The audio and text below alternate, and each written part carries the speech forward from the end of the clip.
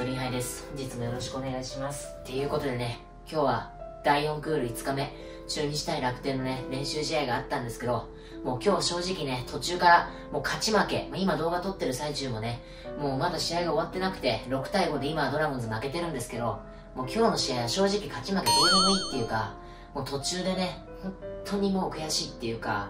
もう頭がパニック真っ白になりました。まあ、ドラゴンズファンの方だったらもう覚えてる方いると思うんですけど、オープン戦でね、あの、木下祐介選手が、あの、マウンド上で肩脱臼してね、倒れ込んだシーンっていうのが、もう、口に出すのもちょっとね、もう、あの、辛いんですけど、そのシーンが蘇るというか、まあ、今日ね、6回の途中で岡田投手が登板したんですけど、えー、左ピッチャーでね、サイドスローを転向して、今まで今順調に来ててね、もう今ドラゴンズ左ピッチャー中継ぎがいない、しかもサイドスローっていうね、新しいタイプの方が出てきた岡田投手チャンス、最後のチャンス新物狂いで掴んできて、今までね、上から投げてきたのに急にサイドスローにして、今まで順調でやってきたっていうところでね、今日ね、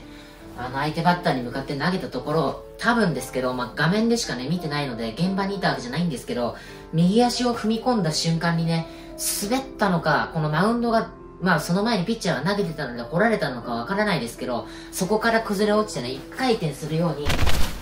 倒れてしまったと。で、もそこから、まあ足をひねったのかなって最初は思ってたんですけど、なかなかね、まあマウンド上でうずくまって動くことができずに、まあ、想像以上に苦しいっていうことで救急車も来て搬送されてしまったっていうところで途中でねなんか布であの球団の方がね、覆ってたんですけど、まあ、外部からのボールを、デッドボールとかで血が出たとかそういうわけではないと思うんですけど、相当痛いというか、まあ、人体断裂なのか、骨が折れたのか、まあでも救急車で運ばれるぐらいなんで、まあ、かなり、本当に無事であってほしいって願うしかないんですけど、まあ、まあ、本当に何か、まあ、大きな怪我をしてしまったのかなっていうのは、まあ、おそらくそうだと思うんですけど、もう今まで本当に、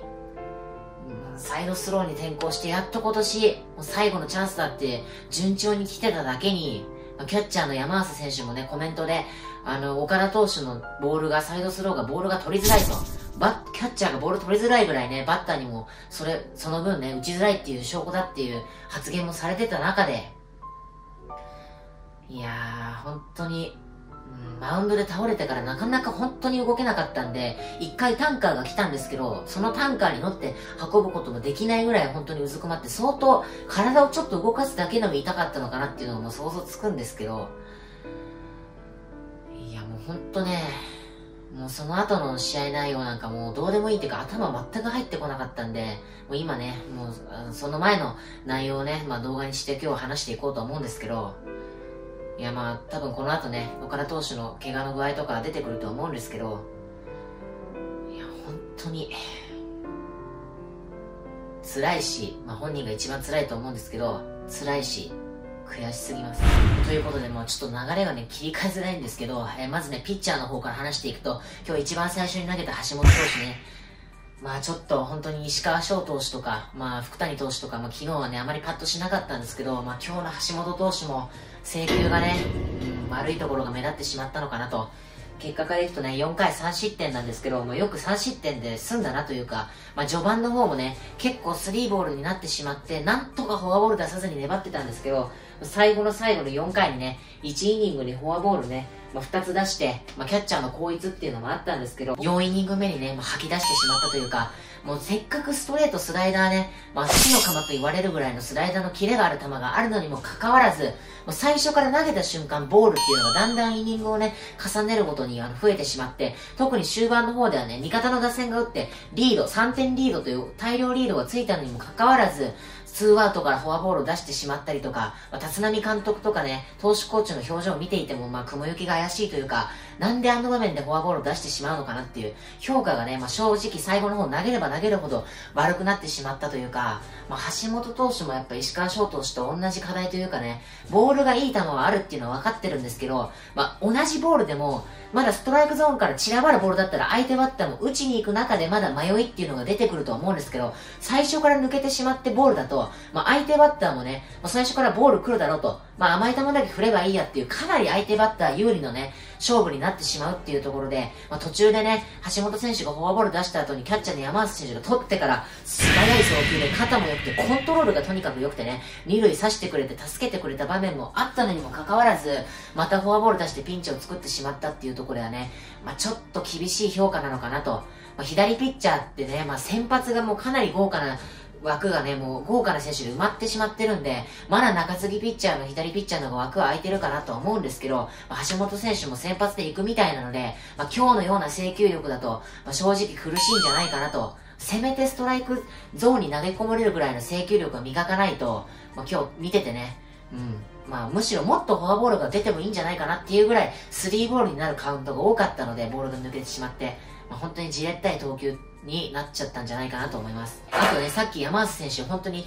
盗塁を刺したところは素晴らしかった。高卒離れしててね、打席の方でもあの、しっかりボールを選んだりとか、もう高卒離れした活躍見せてくれてるんですけど、今日は途中でね、橋本投手とのバッテリーの時に後逸を2回ほどしてしまったっていうことで、まあ、あの、ベンチに戻ってね、西山バッテリーコーチとね、結構神妙な顔で話し合ってましたけど、まあ、まだまだこれからね、十分経験にしていけばいいと思うんですけど、やっぱり橋本投手とか、ああいうピッチャーと組んでね、本番の試合だったらこの投球がダメでね、2軍に降格とか、他のピッチャーのね、この1軍2軍の生活っていうのをこの一つのエラーで左右してしまうっていうね、本当に重みというか、公式戦になればそういうところも出てくると思うので、まあ、決してね、縮こまらないようにしてほしいんですけど、山内選手のね、強気なリード、強い気持ちがあれば大丈夫だと思うんですけど、まあ、今日ね、エラーっていうか、バッテリーエラーが2つ出てしまったっていうところで、こういうところもね、せっかくいい方があるだけにね、まあ、経験にしていってほしいなと思いました。そしてね、その後に投げた松山投手なんですけど、こちら育成ドラフト1位でね、この間いい投球してても僕が動画ですごい回転賞で紹介したんですけど、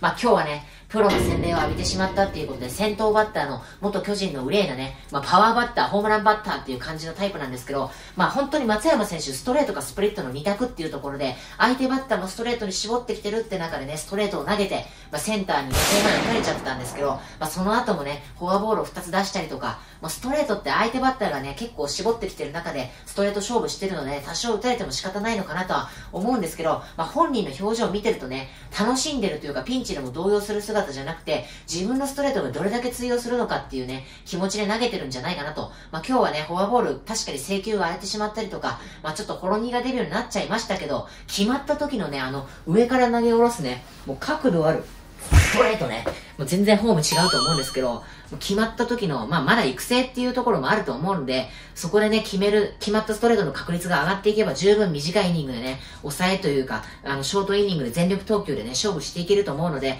まあ、こちらもね、あの、まだ育成っていう立場ですけど、まあ、ストライクゾーン、うん、ギシビシのところは投げなくても、ある程度のストライクゾーンでね、投げ分けられるコントロール力はないと、やっぱ楽天の今日ね、打線っていうのは、もうかなり強力な一軍打線がね、繋がってたので、連なってたので、のでそういうバッターに対峙していくには、やっぱこれからね、そういう、ある程度のコントロール力、コントロール力っていうのはね、力強いストレートがあっても、まあ、スプリットもキレがあってね、空振りも取れたりもすると思うんですけど、球種が少ないだけにね、コントロールっていうのはね、大事なんじゃないかなと思いました。そしてね、一方、打つ方、ドラゴンズ打線はね、今日1回からね、村松選手、2番の村松選手が甘く来た球をね、しっかりコンパクトにセンターにヒットを打ったっていうことで、まあ、その後の打席でね、セカンドゴロがあったんですけど、まあ、村松選手ね、こう、甘い球が来た時に力んでしまって結構セカンドゴロっていうのが悪い時に目立ってたんですけど、最初の打席はね、甘い球をしっかりコンパクトにヒットしたっていうことで、こうういうね、まあ、正直ドラゴンズで言うと岡林選手のようなヒットに徹したバッティングのね、するともっともっとね、良くなるのかなと思うんですけど、最初の打席捉えて、その後のビシエド選手もね、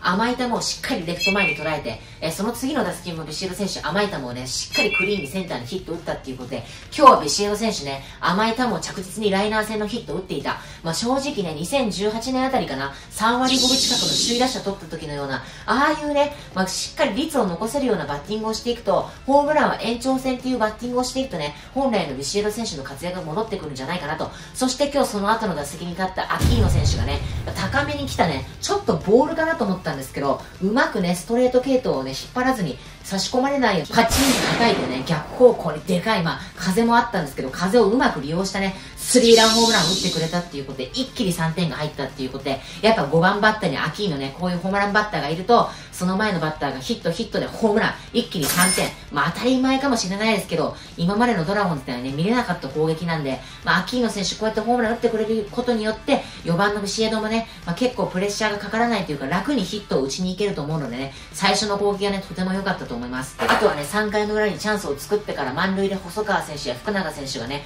打ちたい、結果出したいっていう中でしっかりボールを選んで選球眼で我慢して、押し出しをね、2点を追加していたっていうことで、こういうこともね、大事だっていうところで、細川選手ね、まあ本当立浪監督に今後ももう開幕スタメンまでね、まあ、起用していくようなことを明言されてましたけど、自分でね、まあ、ホームランという長打、魅力を持って、監督にね、俺を使ってくれとアピールして、使いたいとね、思って、もうもらえる、もうほぼ手前というかね、8割方開幕したね、まあ、このまま1軍でオープン戦は少なくともね、1軍でいけると思うので、自分でね、力を、スタメンを掴み取ってきてるっていうところでは、まあ、今日のフォアボールもそうですけど、相手のピッチャーもね、フォアボールを出してしまうっていうのは、やっぱ細川選手に対して恐怖を感じているっていう証拠なんでね、とてもいい傾向だと思います。はい、ということでね、もうちょっと今日はもう、最後までね、試合の内容を振り返ることができなくて、申し訳ないんですけど、もう正直途中でね、岡田投手のあれを見てね、もう頭が真っ白になっちゃったっていうか、まあ、ちょっと個人的な話なんですけど、その前にね、あの、アウトローインハイの大学今2年生の後期、まあ終わったっていうことで、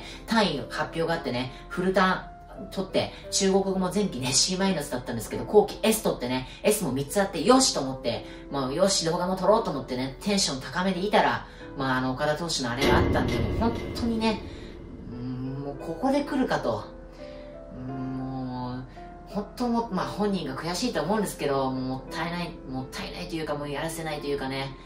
マウンドで倒れてからなかなかもう起き上がれなかったんで、まあ間違いなく骨かなんかに、骨か人体かな、まあ異常があるのかなと思うんですけど、もう岡田投手もね、あの、WBC の時とかの、あの、血行障害でボールが3ボールまで行って最後ゲッツー取ったとか、名場面ありましたけど、本当に血行障害とかね、苦しい思いしてやっと戻ってきて、サイドスローで最後かけてやっていこうっていう時にね、これなんで、